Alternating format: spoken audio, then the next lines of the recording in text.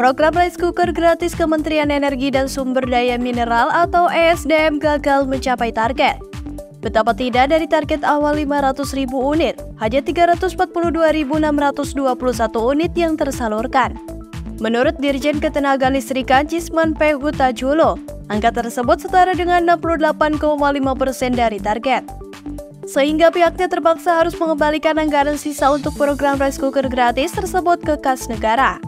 Dari 500 ribu unit, tersalurkan 342 ribu lebih.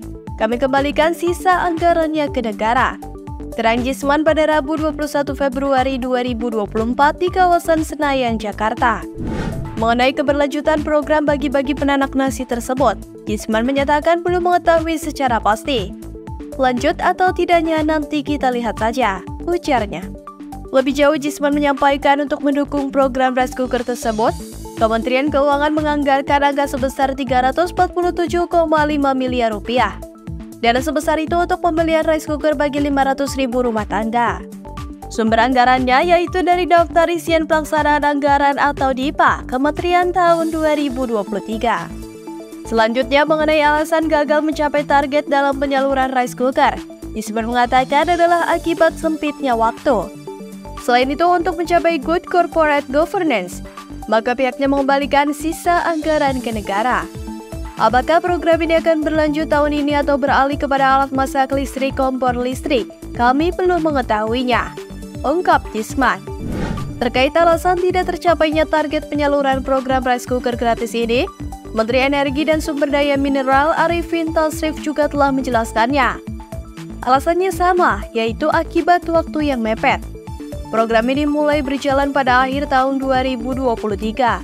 Meskipun kami telah bekerja semaksimal mungkin dalam mencapai target, tetapi memang waktu tidak cukup, ujarnya.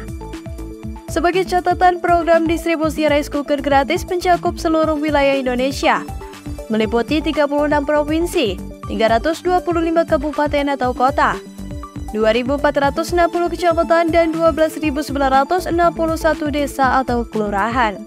Mayoritas menerima berada di Pulau Jawa dan Bali, mencapai 56,3 persen dari total penerima yang berjumlah 192.890 orang.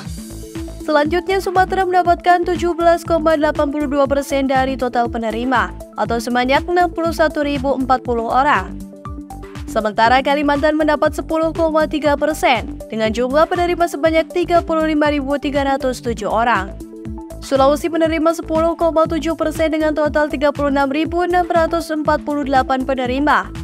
Sementara Nusa Tenggara mendapat 2,18 persen dengan 7.459 penerima. Di sisi lain, Maluku dan Papua menerima masing-masing 1,65 persen atau 5.640 penerima dan 1,06 persen atau 3.637 penerima dari total penerima program rice cooker gratis tersebut.